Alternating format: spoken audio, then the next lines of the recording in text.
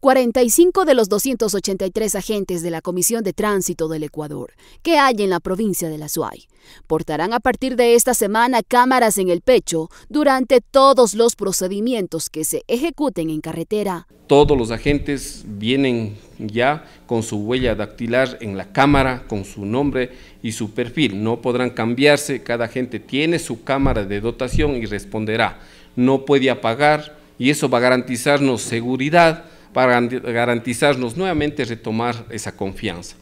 Según Hugo Gómez, director de la CTE, los dispositivos serán monitoreados desde la oficina central en Guayaquil. El objetivo al final de la jornada es frenar la corrupción. Igualmente, esa cámara podrá eh, determinarnos si a veces el ciudadano se presta a coimar a la gente. Y también, igualmente, nosotros pondremos la denuncia en contra de ese ciudadano, porque a veces se presenta esa situación de que, analizando, el ciudadano también incumple normas de tránsito y se presta a coimar a la gente. Cabe mencionar que los operativos se desarrollan previa planificación, con la presencia de funcionarios de la gobernación de la SUAY.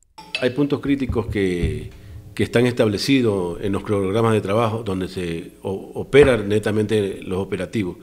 Estos son dirigidos en base a evitar accidentes, donde hay denuncias de, mal uso de los vehículos. Entonces ahí se dirigen los operativos. Esto va en conocimiento de la Agencia Nacional y de la Gobernación, para que con los veedores se haga un mejor trabajo y control.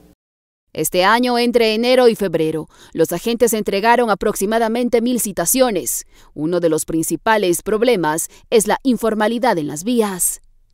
Liliana Llanes, Unción Televisión.